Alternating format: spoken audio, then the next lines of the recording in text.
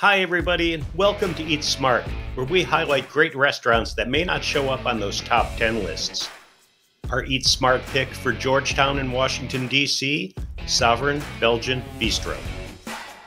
It is literally a stone's throw from that swarm of humanity that you find at the corner of Wisconsin and M Streets. It's crazy busy all day. Hipsters on scooters, families holding hands across sidewalks, idling Ubers blocking traffic. Happily, just 170 feet from that corner, as Google Maps counts it, down a funky alley that's easy to walk right past and that looks kind of dodgy, is Sovereign. It's the perfect place to duck away for an exotic beer, a memorable bite, or just some time to chill. Okay, here are the three things you gotta know about Sovereign Belgian Bistro. Tip number one beer. These guys are serious about beer, but it's Belgian beer. They import this stuff from artisanal producers in Belgium, and they also get some from a handful of US producers who use traditional Belgian brewing techniques. Don't worry, the bartenders know their brews. Tell them what sort of beer you usually drink, and they'll match you with something from one of these Belgian producers. I told our barkeep I liked moderately hoppy IPAs. He served me De Ranke Double X Bitter, served in a tuber glass. My wife, a fan of Blue Moon, got Bernardus Vit Blanche. Both were great matches, both were just 8 bucks. The list is really serious. Some beers go for up to 90 bucks, like for one bottle. And some are so rare they will sell only one to a customer, they say, to conserve their stash. Tip number two Bicky Burger. If there's one thing you've got to try, it's the Bicky Burger. That's a Belgian thing, too.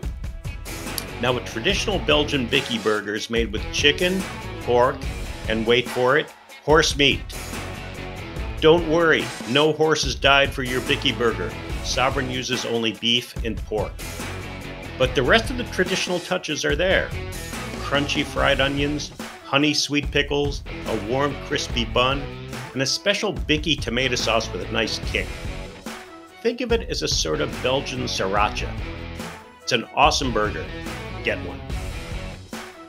On the side, crispy frites that's French for French fries, by the way.